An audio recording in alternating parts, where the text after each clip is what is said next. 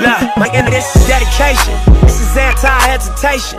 It's a real nigga celebration. It's a dime block declaration. 59th and 5th Ave, granny house with vanilla wafers. It's the remedy to separation. Tupac of my generation. Blue pill in the ocean matrix. Red rose in the great pavement. Young black nigga trapped and he can't change it. Know he a genius, he just can't claim it. Cause they left him no platforms to explain it. But deep down inside, he know you can't him. How long should I stay dedicated? How long till opportunity meet preparation? I need some real working reparations.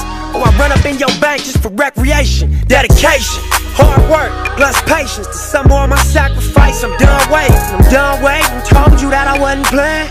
Now you hear what I've been saying. Dedication. Dedication.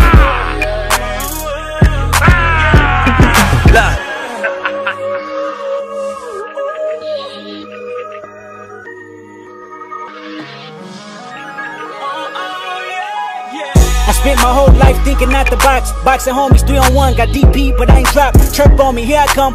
Spin around the block, they broke on me. Said I ran a stop sign, but that's a lie. I spent my whole life staring at the